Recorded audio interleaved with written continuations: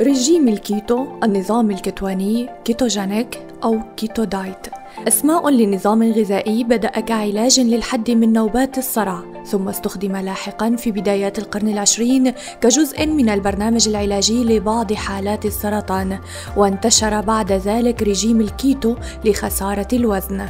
سمي بالكيتو لأنه يعتمد على أجسام الكيتو. ketone bodies كمصدر أساسي للطاقة من خلال تناول نسب عالية من الدهون ومتوسطة من البروتين 75% دهون و25% بروتين ونسب قليلة جدا من الكربوهيدرات من مصادر غير رئيسية لا تتعدى الخمسة بالمئة من الاستهلاك اليومي للشخص والتي تقدر بنحو 50 جراما باليوم. وبحسب أخصائيي التغذية الرياضية والعلاجية فإن نسبة الإقبال على هذه الحمية الكيتونية كبيرة خاصة بين الشباب لأن هذا النظام يساعد على إنقاص الوزن بشكل سريع وواضح إضافة لفائدته في ضبط السكر عند مرضى السكر النوع الثاني غير المعتمد على الأنسولين. بين مؤيد ومعارض للكيتو دايت تنقسم الآراء فمقابل فوائده ينشر الخبراء العديد من التحذيرات فهو ليس بالنظام الغذائي الدائم ولا يمكن الاستمرار به لأكثر من شهر ونصف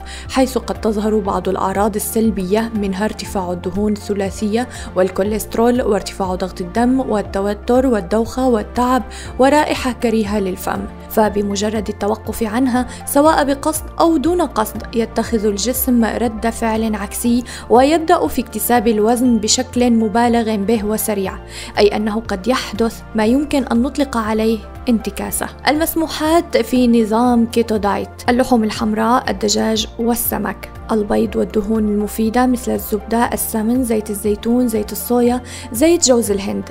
المكسرات القليلة النشويات والخضروات كالأفوكادو والخضروات الورقية، الخيار، الفلفل، الباذنجان، زبدة الفول السوداني وزبدة اللوز، الأجبان بكل أنواعها ومنتجات الألبان.